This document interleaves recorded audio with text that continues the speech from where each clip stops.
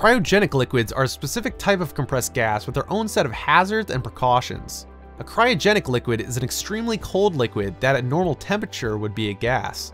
Due to their dependence on staying cold, cryogenic liquids may begin to boil violently if stored at room temperature.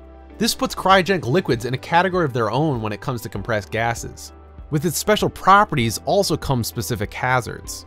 First, direct contact with cryogenic liquids can cause cold burns on the skin and even frostbite. Even touching the cylinders and piping containing these liquids can be dangerous as the coldness of the surface may cause the skin to stick to it, similar to the childhood dare of putting your tongue on a cold metal pole. When cryogenic liquids are transferred to a warmer container, they can boil and splash, increasing the risk for skin exposure. Since they are a liquid, cryogens can condense and then refreeze inside openings in the cylinder. When these openings are blocked, pressure can build up causing an explosion.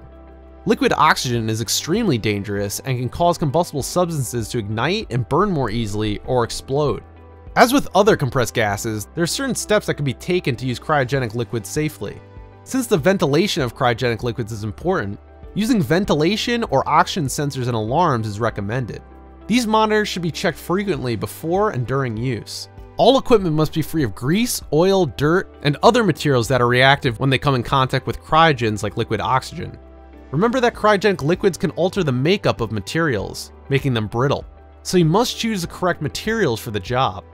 Cryogenic liquid should be stored in a special cylinder called a dewar, which has a vacuum space between the liquid and the outer walls of the container.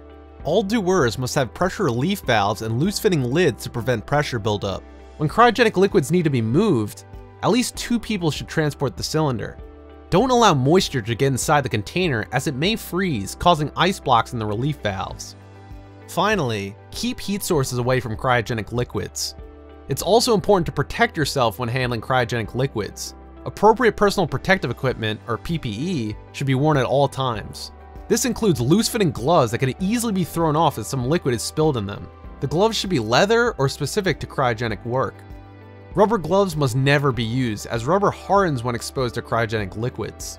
Face shields and goggles will protect your eyes and face from accidental splashes. They need to fit tightly against the skin to prevent liquid from leaking in should a splash occur. Closed-toe leather shoes are the best option when working with cryogenic liquids. Leather naturally repels any spilled liquid, while absorbent materials like sneakers will draw the liquid toward your skin. For this reason, a leather apron should also be worn over clothing. Metal jewelry like rings and watches shouldn't be worn when working with cryogenic liquid. If the skin does come in contact with the cryogenic liquid, run the affected area under room temperature water for 15 minutes. Never use very hot or very cold water. The rewarming of the skin should be done gradually and can take up to 60 minutes. If the area becomes frostbitten, seek medical attention immediately. The best way to prevent injury is to be familiar with using cryogenic liquids and to be careful.